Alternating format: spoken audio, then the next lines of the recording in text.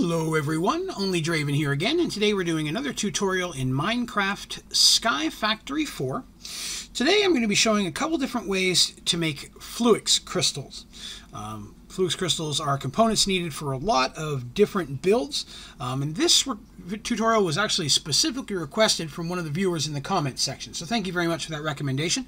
Um, if you have any recommendations for tutorials in Minecraft Sky Factory 4 you'd like to see, please feel free to put those down in the uh, comments and I'll see what I can put together for you. Um, there's a couple different ways to make a Fluix crystal, um, and I'm going to be using two different machines to do it today. You can use either one of them.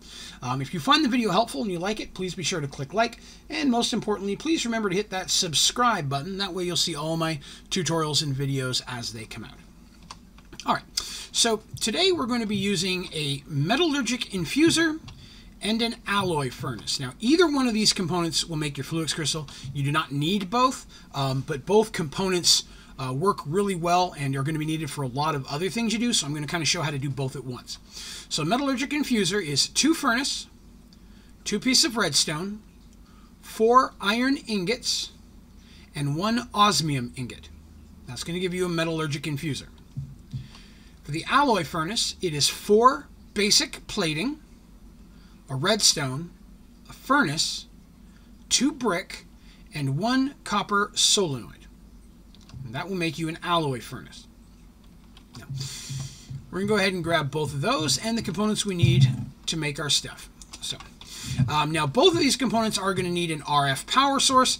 Uh, for this tutorial, I'm just using a very simple combustion generators, um, but any type of RF source should work for this. So we're going to start by putting down our metallurgic infuser and an alloy furnace. Now, the recipe for making the Fluix crystal itself is the same in both components. It's going to be a redstone and a crystallized mineral chunk. So, starting with the infuser, if you right click on that, first thing you do is you're going to put your crystallized mineral chunks, then you're going to put your redstone.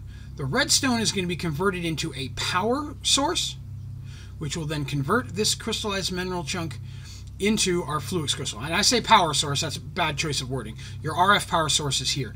Um, this is more of like a fuel, if you will. Um, and if this runs out, you just put in more redstone. Um, redstone plates and stuff, will, redstone blocks, all of those will work. Now the metallurgic infuser can be used for uh, making a lot of different components and it's not always redstone that you're going to use as a fuel. A very common one is coal.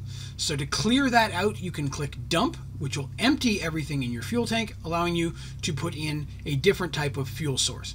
But as you can see it is converting these crystallized mineral chunks into Fluix crystals.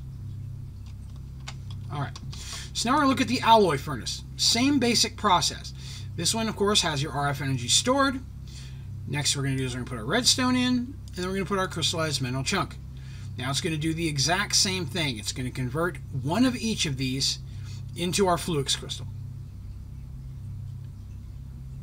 We'll allow that to go through.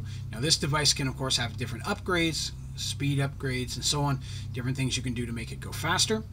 But both of these components will give you your Fluix crystals. Again, very easy process, but both of these components are, or uh, machines are very important.